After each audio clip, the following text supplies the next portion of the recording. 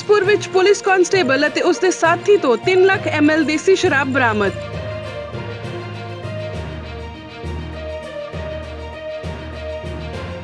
ਗੁਰਦਾਸਪੁਰ ਦੇ ਥਾਣਾ ਧਾਰੀਵਾਲ ਪੁਲਿਸ ਨੇ ਗਸ਼ਤ ਦੌਰਾਨ ਇੱਕ ਪੁਲਿਸ ਕਾਂਸਟੇਬਲ ਤੋਂ ਬਰਾਮਦ ਕੀਤੀ 3 ਲੱਖ ਐਮਐਲ ਦੇਸੀ ਸ਼ਰਾਬ। ਫੋਰਡ ਫੀਗੋ ਗੱਡੀ ਵਿੱਚ ਸਵਾਰ ਸਨ ਦੋ ਨੌਜਵਾਨ, ਜਿਨ੍ਹਾਂ ਵਿੱਚੋਂ ਇੱਕ ਹੈ ਪੁਲਿਸ ਕਾਂਸਟੇਬਲ ਜੋ ਗੁਰਦਾਸਪੁਰ ਦੇ ਪੁਲਿਸ ਲਾਈਨ ਵਿੱਚ ਤੈਨਾਤ ਹੈ। ਜਾਣਕਾਰੀ ਦਿੰਦਿਆਂ ਐਸਐਚਓ ਧਾਰੀਵਾਲ ਮਨਜੀਤ ਸਿੰਘ ਨੇ ਦੱਸਿਆ ਕਿ ਪੁਲਿਸ ਪਾਰਟੀ ਰੋਜ਼ਾਨਾ ਦੀ ਤਰ੍ਹਾਂ ਗਸ਼ਤ ਕਰ ਰਹੀ ਸੀ। ਉਹਨਾਂ ਨੇ ਜਦ ਇੱਕ ਕਾਰ ਫੋਰਡ ਫੀਗੋ ਨੂੰ ਰੁਕਣ ਦਾ ਇਸ਼ਾਰਾ ਕੀਤਾ ਤਾਂ ਕਾਰ ਚਾਲਕ ਨੇ ਕਾਰ ਭਜਾਉਣ ਦੀ ਕੋਸ਼ਿਸ਼ ਕੀਤੀ। ਜਦ ਉਸ ਦਾ ਪਿੱਛਾ ਕਰ ਕਾਰ ਨੂੰ ਕਾਬੂ ਕੀਤਾ ਤਾਂ ਕਾਰ ਇੱਕ ਪੁਲਿਸ ਕਾਂਸਟੇਬਲ ਮਨਦੀਪ ਸਿੰਘ ਚਲਾ ਰਿਹਾ ਸੀ, ਜੋ ਕਿ ਗੁਰਦਾਸਪੁਰ ਪੁਲਿਸ ਲਾਈਨ ਵਿੱਚ ਤੈਨਾਤ ਹੈ ਅਤੇ ਉਸ ਦਾ ਸਾਥੀ ਰਮਨ ਕੁਮਾਰ ਉਸ ਦੇ ਨਾਲ ਬੈਠਾ ਸੀ। ਜਦ ਕਾਰ ਦੀ ਤਲਾਸ਼ੀ ਕੀਤੀ ਤਾਂ ਉਸ ਵਿੱਚੋਂ 3 ਲੱਖ ਐਮਐਲ ਦੇਸੀ ਸ਼ਰਾਬ ਬਰਾਮਦ ਕੀਤੀ ਗਈ।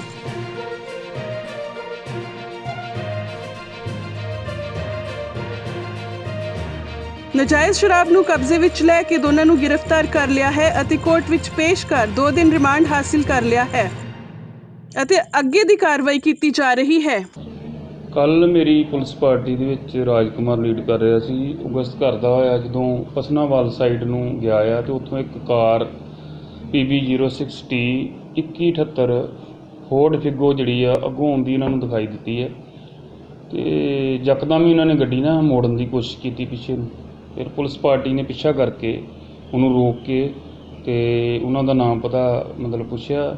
ਜਦ ਕਿ ਜਿਹੜਾ ਡਰਾਈਵਰ ਸੀਗਾ ਉਹਦੇ ਵਿੱਚ ਉਹਨੇ ਇੱਕ ਕਾਂਸਟੇਬਲ ਦੀ ਯੂਨੀਫਾਰਮ ਪਾਈ ਹੋਈ ਸੀ ਜਿਸ ਦਾ ਨਾਮ ਮਨਦੀਪ ਸਿੰਘ ਅ, ਸਾਨੋ ਪ੍ਰੀਤਮ ਸਿੰਘ ਪਿੰਡ ਗੁਣੀਆਂ ਅਤੇ ਜਿਸ ਦਾ ਬੈਲਟ ਨੰਬਰ 18 ਵਾ ਜ਼ਿਲ੍ਹਾ ਗੁਰਦਾਸਪੁਰ ਦੇ ਨਾਲ ਉਹ ਸੰਬੰਧਿਤ ਹੈਗਾ ਜਿਹਦੀ ਡਿਊਟੀ ਪੁਲਿਸ ਲਾਈਨ ਗੁਰਦਾਸਪੁਰ ਵਿੱਚ ਹੋਣੀ ਉਹਨੇ ਦੱਸੀ ਹੈ। ਤੇ ਉਹਦੇ ਨਾਲ ਇੱਕ ਜਿਹੜਾ ਲੜਕਾ ਸੀਗਾ, ਰਮਨ ਕੁਮਾਰ ਪੁੱਤਰ ਕਮਲ ਕੁਮਾਰ ਵਾਸੀ ਜੋੜਾ ਛਤਰਾ, ਜੋ ਸਾਂਸੀ ਬਰਾਦਰੀ ਨਾਲ ਸੰਬੰਧ ਰੱਖਦਾ ਵਾ।